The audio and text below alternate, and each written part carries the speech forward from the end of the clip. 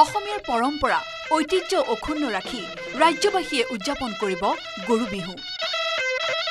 গৰু বিহুৰ প্ৰাক্ষণত কংক্ৰিটৰ মহানগৰীৰ বজাৰত দেখিবলৈ পোৱা গৈছে গৰু বিহুৰ দিনটোৰ প্ৰয়োজনীয় সামগ্ৰীসমূহ।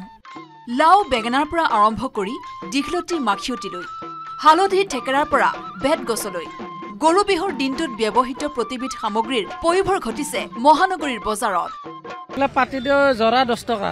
আৰু এইবিলাক পঞ্চাছ টকা। হালধি আছে পাণ তামোল আছে মাহ এটা মাহ আছে আমৰ কলি আছে।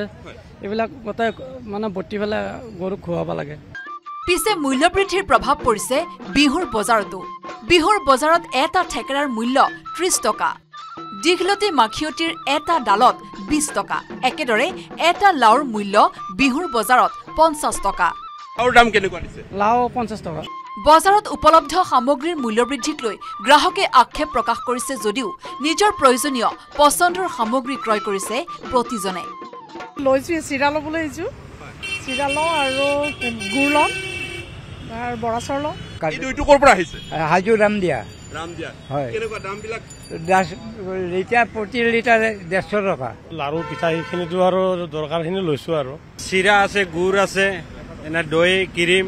চব আছে পিঠা লাৰু চব আছে এনে চাউল চিৰাটো মিনিমাম দহ টকা বাৰ টকা কেজিত বেছি হৈছে। পিঠাটো অলপ দাম বেছি হৈছে। দীঘলতী মাখিয়তী লাও থেকেৰাৰ লগতে মহানগৰীৰ বজাৰত উপলব্ধ হৈছে বিবিধ লাৰু পিঠা দৈ সান্দহ।